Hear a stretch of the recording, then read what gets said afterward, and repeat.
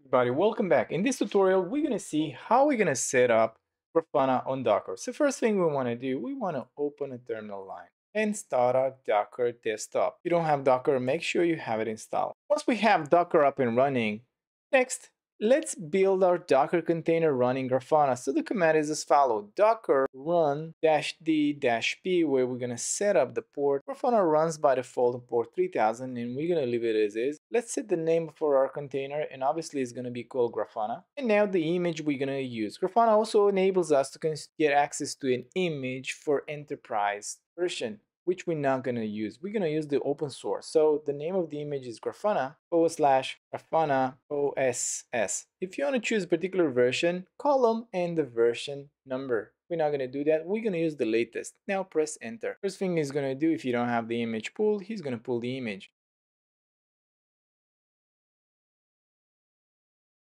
Right, now that he pulled the image and we can see that a container was created, let's see how it looks. We can, we can use the command line using the PS and we can see that Grafana it's up and running or we can use the Docker dashboard. We can see that it's up and running and it's at port 3000. Let's open a browser and see the web UI. The address is going to be localhost column 3000. So we're going to be provided with this window. And I see I already have it populated with my admin and my admin credential. The default user, pass user and password are admin admin. Once you log in, you will be asked to ask to change your password. Since I'm lazy, I'm gonna put it as admin as well. And let's submit. Next thing you wanna do once you have Grafana up and running, you wanna make sure you navigate and you add your data sources. But for now, we're gonna stop there.